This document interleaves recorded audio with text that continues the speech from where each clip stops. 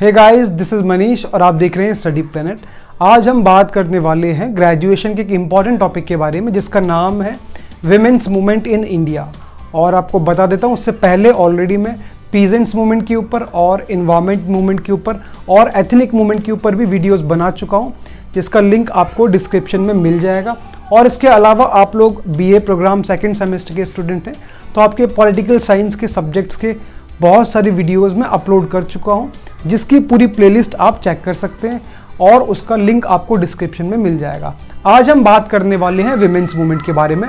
तो women's movement के बारे में हम डिटेल में बात करेंगे कि कैसे इसका बैकग्राउंड शुरुआत हुई कौन कौन से फेजेस में ये बटा, कुछ इंपॉर्टेंट एग्जाम्पल्स की बात करेंगे और लास्ट में ओवरव्यू की बात करेंगे। तो आइए शुरू करते हैं। सबसे पहले बात करते हैं इंट्रोडक्शन की। तो अगर इंट्रोडक्शन की बात की तो विमेंस मूवमेंट वो आंदोलन होते हैं जो कि महिलाओं के लिए, उनके अधिकारों को बचाने के लिए किए जाते हैं। और इंडिया जैसे देश के अंदर जहाँ पर जो हमारा बैकग्राउंड है, वो एक पैट्रियार्कल सोसाइटी से बना है मतलब पैतृक समाज से बना है मतलब एक ऐसा समाज है जहाँ पर मेल डोमिनेंट सोसाइटी रहती है। और ऐसे समाज के अंदर विमेंस के लिए सोशल पॉलिटिकल और इकोनॉमिक तीनों तरीके से उनके अधिकारों को बचाए रखने के लिए मतलब सामाजिक तौर पर, आर्थिक तौर पर या राजनीतिक तौर पर जितने भी उनके अधिकार हैं, उनको बचाए रखने के लिए जो आंदोलन किए जाते हैं उनको विमेंस मूवमेंट बोलते हैं। और जो विमेंस मूवमेंट होते हैं, इनके बहुत सिंपल से पर्पस होते हैं। फॉर एग्जांपल आपको बता देता हूँ equal pay for the equal work की बात की जाती है इनके अंदर। इसके अलावा इक्वल हेल्थ की बात की जाती है as compared to the male persons and equal education access की बात की जाती है कि शिक्षा का भी पूरा अधिकार उनको होना चाहिए, जितने एक मेल पर्सन को है। एंड इक्वल पॉलिटिकल राइट सबसे इंपॉर्टेंट जितने भी राजनीतिक अधिकार हैं, जो मेंस को मिले हुए हैं, वो सारे अधिकार विमेंस को भी दिए जाने चाहिए। बात करते हैं बैकग्राउंड की तो बैकग्राउंड की बात की जाए तो फेमिनिस्ट या फिर जो विमेन मूवमेंट है भारत के अंदर, उनको तीन अलग अलग फेजेस में बांट रखा है। सबसे पहले फ़ेज़ की बात करें तो उसकी शुरुआत अर्ली नाइनटीन और मिड नाइनटीन सेंचुरी में की गई। उस वक्त अंग्रेज़ों का रास्ता भारत के अंदर और भारत के अंदर बहुत सारी सामाजिक समस्याएँ चल रही थी। एग्ज़ाम्पल के तौर पर सती प्रथा को ख़त्म करने की बात की जा रही थी चाइल्ड मैरिज को ख़त्म करने की बात की जा रही थी विडोरी रीमैरिज की बात की जा रही थी। ज़्यादातर जो प्रॉब्लम्स थी समाज की, वो वुमेन से रिलेटेड ही थी। और इसलिए बहुत सारे समाज सुधारक भारत के अंदर उठकर आए। जैसे कि राजा राम मोहन रॉय थे, ईश्वर चंद विद्यासागर थे, इन्होंने अलग अलग आंदोलन चलाए इन सभी प्रॉब्लम्स को दूर करने के लिए। इसको जो है पहला फ़ेज़ माना गया विमेंस मूवमेंट के लिए। और इसी के तहत एक इंपॉर्टेंट नाम और भी है, जिनका जो है सावित्री बाई फूले महाराष्ट्र के अंदर इन्होंने काफ़ी बड़ा आंदोलन किया था। और वो आंदोलन था women's right for the education अब बात करते हैं सेकेंड फ़ेज़ की तो सेकेंड फ़ेज़ जो था विमेंस मूवमेंट का, वो ट्वेंटी सेंचुरी के अंदर शुरुआत हो रही थी। अब यहाँ पर ट्वेंटी सेंचुरी में जो है आज़ादी के आंदोलन चलाए जा रहे थे। तो जितने भी नेशनल फ्रीडम स्ट्रगल थे भारत के, और इस वक्त महात्मा गांधी इन सब आंदोलन को लीड कर रहे थे, जैसे कि नॉन कॉपरेशन मूवमेंट था सिविल डिसोबीडियंस मूवमेंट था क्विट इंडिया मूवमेंट था तो इन सब के अंदर महात्मा गांधी ने आज़ादी के आंदोलन के साथ साथ विमेन के रोल को भी इंपॉर्टेंस दी, और इन सभी आंदोलनों के अंदर प्रॉपर विमेंस के संगठन बनाए गए जो एक्टिव पार्टिसिपेशन कर रही थी इन सभी आंदोलन के अंदर और इन आज़ादी के आंदोलन के साथ साथ जो महात्मा गांधी थे, उन्होंने विमेंस मूवमेंट की बात की विमेंस के साथ जो अत्याचार हो रहे थे या स्पेशली उनको स्पेशल स्टेटस दिलाने में पॉलिटिकल स्टेटस दिलाने की महात्मा गांधी ने बात की। तो ये सेकेंड वेव थी सेकेंड फ़ेज़ था विमेंस मूवमेंट का इंडिया के अंदर, जहाँ पर विमेंस अपलिफ्टमेंट के लिए बात की जा रही थी। अब आगे बात करते हैं थर्ड फ़ेज़ की। आपको बता देते कि अगर आप लोग हमारे चैनल पर नए जुड़े हैं तो आप हमें सब्सक्राइब कर सकते हैं जिसमें आपको क्लास 11, ट्वेल्थ ग्रेजुएशन और पोस्ट ग्रेजुएशन से रिलेटेड बहुत सारी वीडियोस आपके सिलेबस के अकॉर्डिंगली मिल जाएँगी। और आप जिस भी सेमेस्टर में हैं आप उसकी प्लेलिस्ट जाके चेक कर सकते हैं या फिर आप सिंपली ग्रेजुएशन की प्लेलिस्ट चेक कर सकते हैं जिसमें आपको आपके सेमेस्टर और सिलेबस के अकॉर्डिंगली बहुत सारी वीडियोज़ मिल जाएगी आसान भाषा में। और इसके अलावा आप चाहते हैं हमसे पेड नोट्स या फिर पेड क्लासेज तो उसके लिए आप हमें इंस्टाग्राम पर मैसेज भी कर सकते हैं। थर्ड फ़ेज़ की अगर हम लोग बात करें तो वो शुरुआत हुई पोस्ट इंडिपेंडेंस एरा के बाद मतलब देश के आज़ादी मिलने के बाद।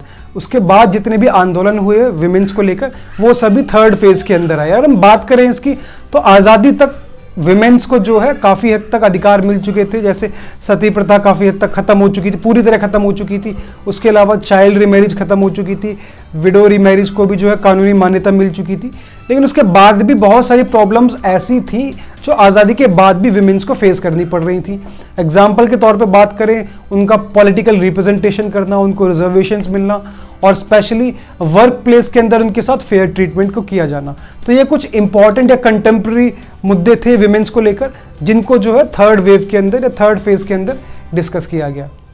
अब बात करते हैं कुछ एग्जाम्पल्स की। तो सबसे पहला एग्ज़ाम्पल है एंटी अरक मूवमेंट जिसकी शुरुआत जो है आंध्र प्रदेश के नेल्लौर डिस्ट्रिक्ट के अंदर की गई। वहाँ पर जो है विमेंस ने एक एडल्ट लिटरेसी ड्राइव चला रखा था, जहाँ पर विमेंस अपनी प्रॉब्लम्स को आकर डिस्कस करती थी। और सबसे बड़ी जो, और सबसे कॉमन प्रॉब्लम थी, जिसको सारी विमेंस फेस कर रही थी, वो है excessive use of alcoholism by their male family members तो जो उनके मेल फैमिली मेंबर्स थे, वो शराब का इस्तेमाल बहुत ज़्यादा कर रहे थे।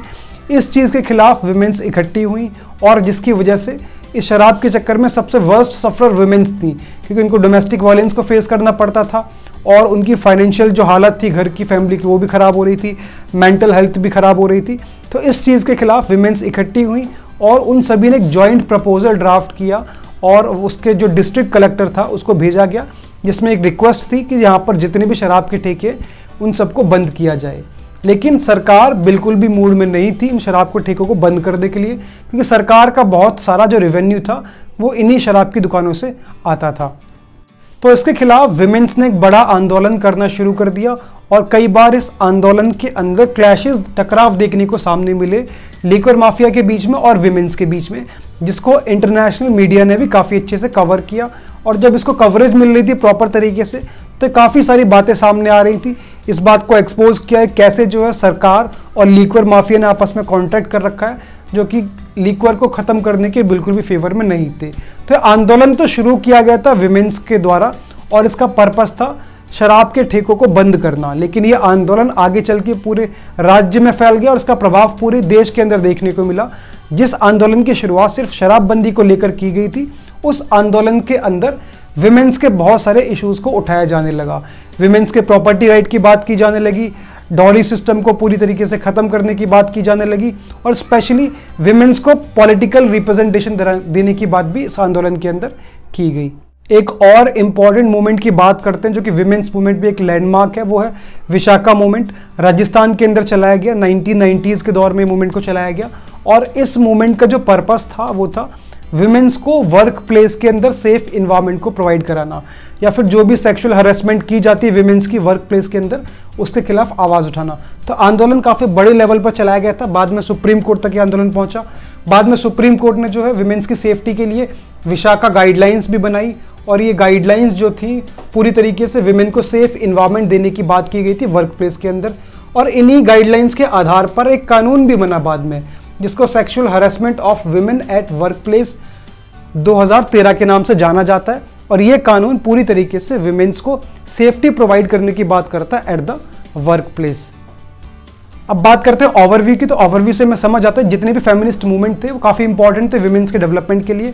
और उसके बाद भी, इतने मूवमेंट के बाद भी जो मॉडर्न इंडिया के अंदर रह रहे हैं, उसके अंदर दुनिया भर के डिस्क्रिमिनेशन अलग अलग फॉर्म्स में अब भी देखने को मिलते हैं between the man and women और अब भी बहुत सारे पॉलिटिकल और इकोनॉमिक राइट्स हैं, जैसे कि हम बात करें हम भारतीय भारत का जो पेट्रियार्कल कल्चर है, उसके अंदर जो है gaining the land ownership rights की बात की जाए, या फिर equal access to the education की बात की जाए, हालाँकि ये कानून और अधिकार मिल तो रखे वुमेन के, लेकिन उसके बाद भी इनको इम्प्लीमेंट करने में बहुत सारे चैलेंजेस को फेस करना पड़ता है। और अब पिछले 20-25 सालों से एक ट्रेंड और भी शुरू हुआ है विमेंस मूवमेंट को लेकर, वो है सेक्स सेलेक्टिव एबॉर्शन को लेकर। तो ये भी एक इंपॉर्टेंट इशू बन चुका है, जो जो कि वर्ल्ड वाइड डिस्कस किया जाता है दुनिया के अंदर कि विमेंस को ये अधिकार मिलना चाहिए। तो सारे पॉइंट्स थे, ये सारा कंसेप्ट था विमेंस मूवमेंट का। आई होप आपको समझ आया होगा। तो अगर आप चाहते हैं ऐसे ही वीडियोस आसान भाषा में आपको मिलती रहें तो आप हमारे चैनल को सब्सक्राइब कर सकते हैं और ज़्यादा से ज़्यादा शेयर कर सकते हैं। Thank you so much for watching